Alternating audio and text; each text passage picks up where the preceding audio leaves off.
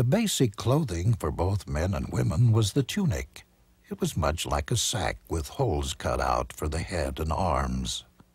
A piece of leather or folded cloth was worn at the waist like a belt and was known as a girdle. When it was time to work, the long tunic would get in the way. They brought the loose ends and tucked them into the girdle, which gave their legs freedom of movement. This was called girding up your loins. In the gospel usage, girding up your loins means to prepare yourself, work hard, and give service in the kingdom.